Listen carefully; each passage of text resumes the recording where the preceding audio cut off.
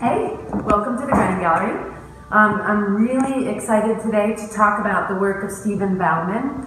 Stephen, um, I've known Stephen since his early 20s when he was a student at the Florence Academy of Art.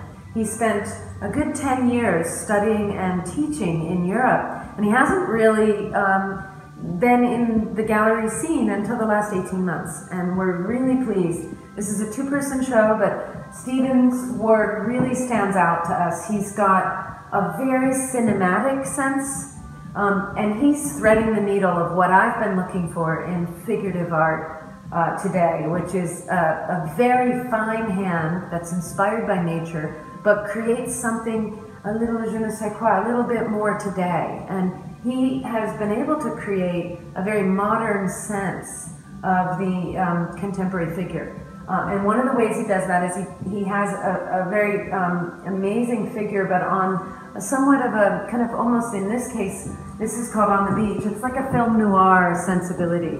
He's controlling color and light to create a sense of mood and atmosphere but he's also um, very much capturing the, uh, the, the sense of that young millennial. Um, I love this painting, Also, the little dash of red.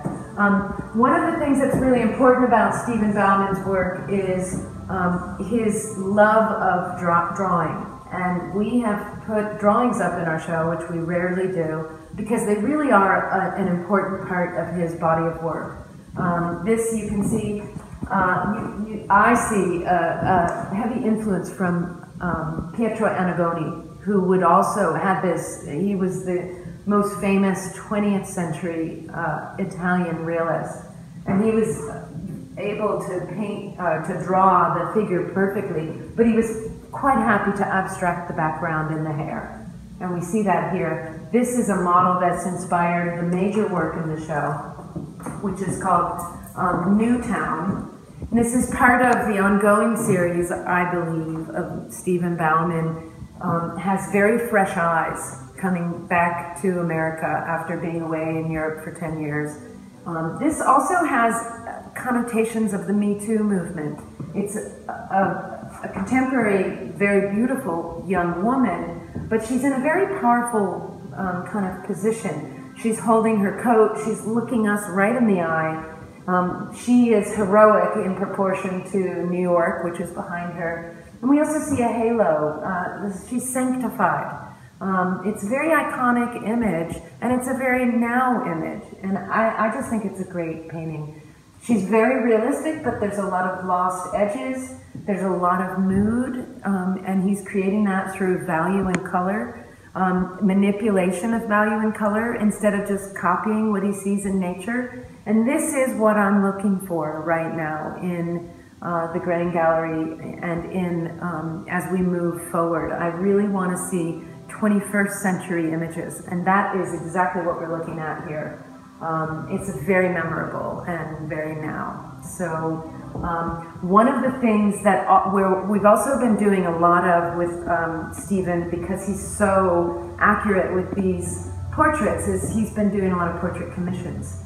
Um, he also he's painted um, everyone that's worked in the gallery, including me, and you'll see some uh, some of our um, our portrait heads. But those are really just quick studies that he's doing in two and a half hours. Given the proper amount of time, he's been delivering very successful portrait heads. One other way that he's modernized things is he's working in a square format, which isn't um, at all traditional. It isn't 19th century, it's very 21st century.